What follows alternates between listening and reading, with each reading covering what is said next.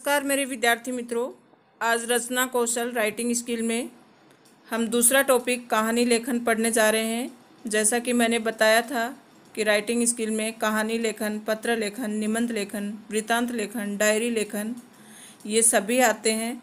आज का हमारा टॉपिक है कहानी लेखन। कहानी क्या होती है?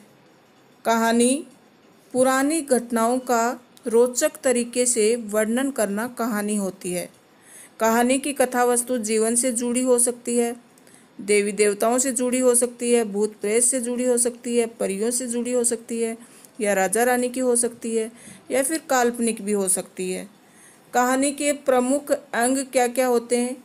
कथा वस्तु होती है। कथा वस्तु का मतलब ये है कि उसमें एक, दो या चार पात्र होते हैं और उनके चारों तरफ़ वो कहानी घूमती है। उन्हीं से संबंधित कहानी होती है।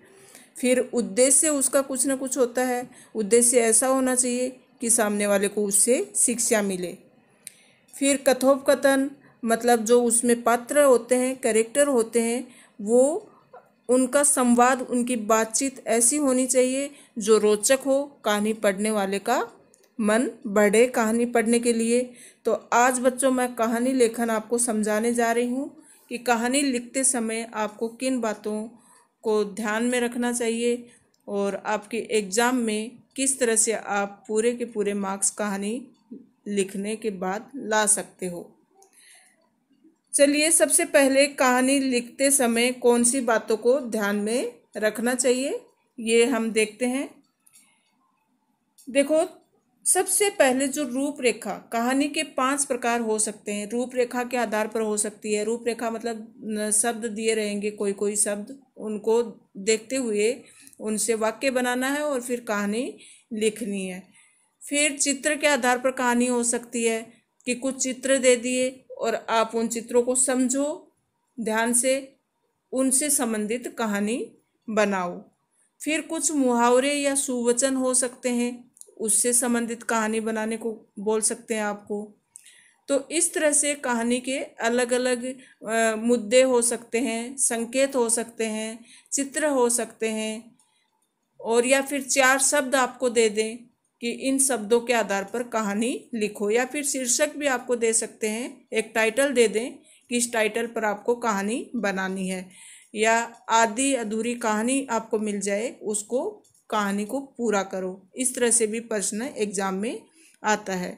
लेकिन ज़्यादातर क्या आता है कि रूपरेखा के आधार पर कहानी लिखो। रूपरेखा कैसे? एक शब्द दे दिया, एक राजा, बाज़ार जाना, वहाँ एक किसान से मिलना, इस तरह से। फिर उन एक एक शब्द का आप एक एक वाक्य बनाएँगे और कहानी को आगे से आगे बढ़ाते जाएँगे। तो ये सब कहानी के प्रकार हैं। इस तरह की कहानी एग्ज़ाम में पूछी जाती है। लेकिन कहानी लिखते समय किन किन बातों को ध्यान में रखना चाहिए, ये मैं आपको बताने जा रही हूँ।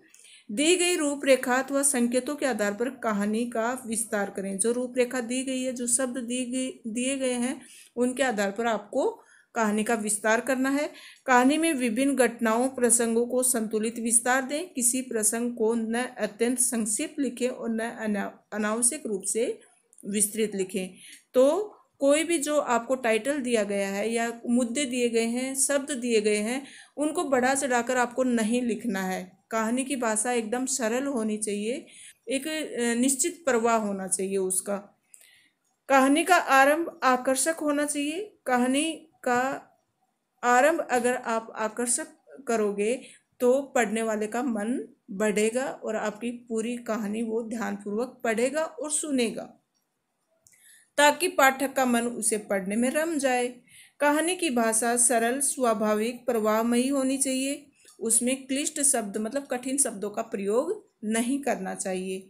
कहानी को उपयुक्त आकर्षक शीर्षक देना चाहिए कि उसका टाइटल ऐसा होना चाहिए कि टाइटल पढ़ते ही मन करे कि कहानी पढ़नी चाहिए और कहानी का अंत सहज ढंग से होना चाहिए। तो ये कहानी लिखते समय इन बातों का ध्यान रखना है आपको। फिर देखो, यहाँ ध्यान देने वाली बात यह है कि कहानी रोचक और स्वाभाविक हो, घटनाओं का पारस्परिक संबंध ही। भाषा सरल हो, कहानी से कोई ना कोई उपदेश अवश्य मिलता हो और अंत में कहानी का एक अच्छा शीर्षक भी देना चाहिए। चलिए आगे बढ़ते हैं। बच्चों, सबसे ज़्यादा एग्ज़ाम में रूपरेखा के आधार पर कहानी पूछी जाती है। इसलिए मैंने आज का प्रश्न लिया है कि निम्नलिखित प्रत्येक रूपरेखा के आधार पर कहानी लिखिए। आपको मैं बताने जा रही हूँ कि रूपरेखा के आधार पर कहानी आती है तो उसको किस तरह से लिखना है।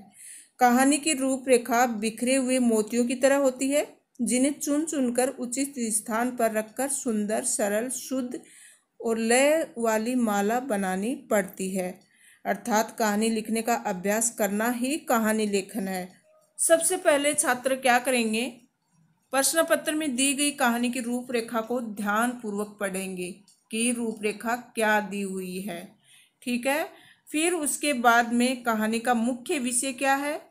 इसका उद्देश्य आपको ध्यान में रखना है। शुरू से अंत तक कहानी लिखनी चाहिए। कहानी का प्रारंभ और विकास एक क्रमबद्ध तरीके से आपको करना चाहिए।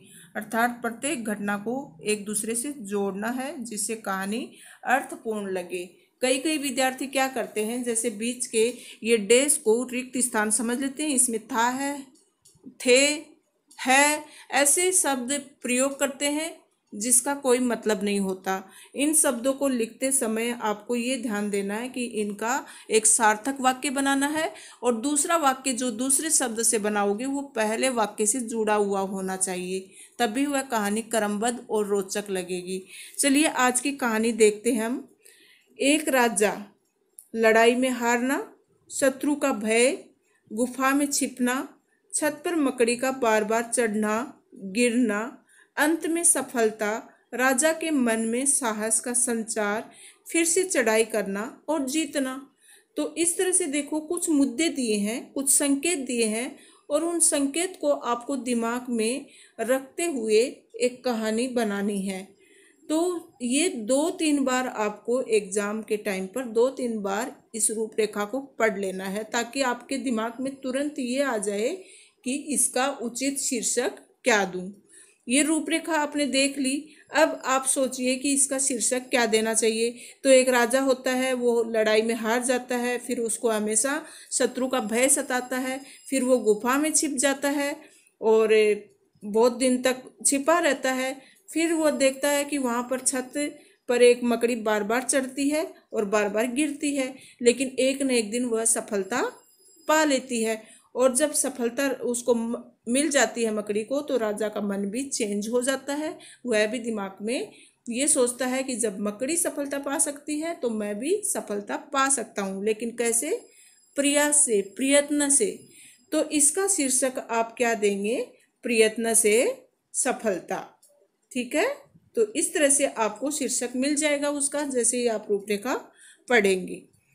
तो देखो, ये कहानी किस तरह से इसका शीर्षक मिला?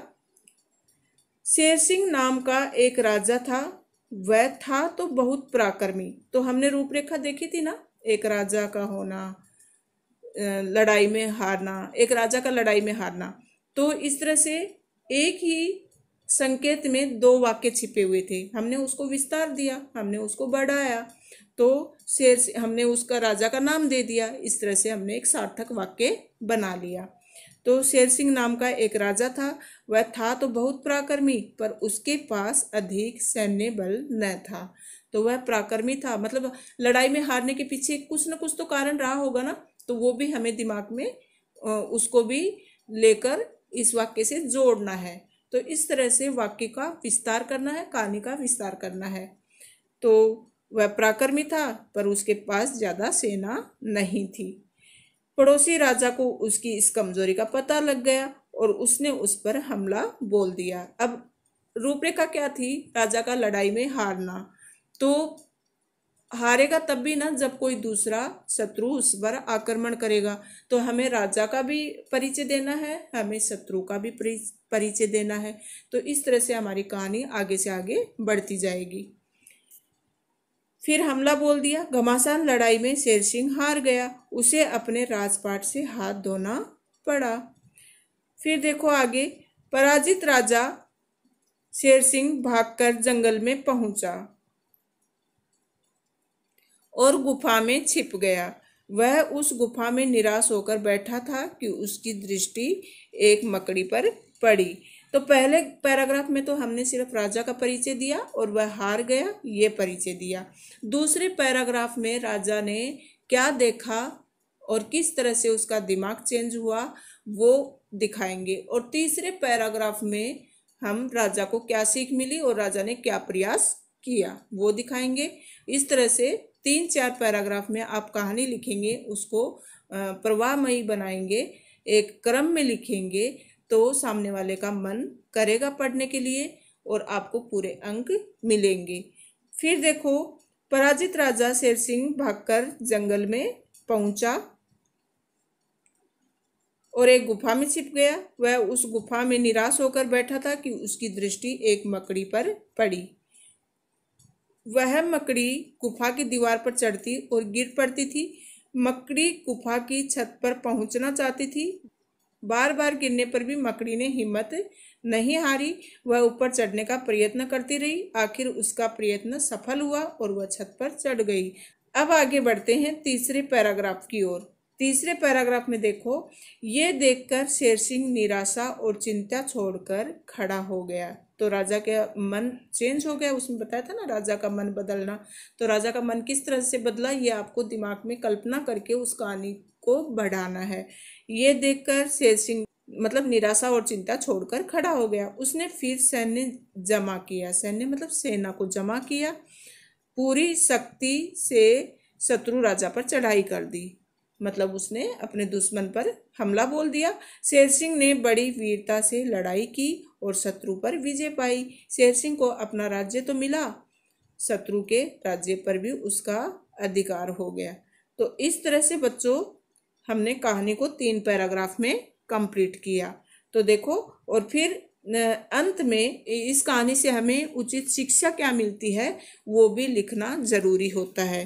तो ये देखो, सीख सीख ये मिलती है कि छोटे छोटे जीवों से भी हम बहुत कुछ सीख सकते हैं। निसफलता से निराश न होकर प्रयत्न जारी रखने से ही अंत में सफलता मिलती है, या फिर शीर्षक ऐसे भी दे सकते हैं कि बार बार प्रयास करने पर एक दिन सफलता अवश्य मिलती है। तो इस तरह से बच्चों हमने ये कहानी को सीखा और साथ ही बच्चों, आपके लिए गृह कार्य है। इसको कंप्लीट करना आपको, जैसा कि मैंने रूपरेखा के आधार पर आपको समझाया कि किस तरह से कहानी लिखनी चाहिए, रूपरेखा के आधार पर तीन चार पैराग्राफ में होनी चाहिए, कहानी सरल होनी चाहिए, सहज होनी चाहिए, उससे कोई ना कोई शिक्षा ज़रूर मिलनी चाहिए और कम से कम तीन या चार पैराग्राफ में कहानी को पूरा करें, क्रमबद्ध तरीके से लिखें। धन्यवाद मेरे विद्यार्थी मित्रों, ये जो कहानी दी जा रही है, इसको आप ज़रूर कंप्लीट करेंगे और मुझे कम कमेंट बॉक्स में बताएँगे कि आपको कहानी समझ में आई या नहीं। धन्यवाद।